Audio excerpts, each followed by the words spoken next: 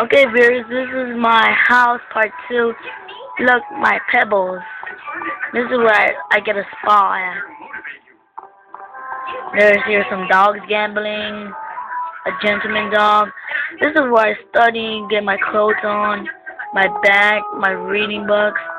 Time to go upstairs, and I don't know what that says. My dead mummy there my two beds for me and my girl there my teacher and my my father the different schools I like and it wasn't one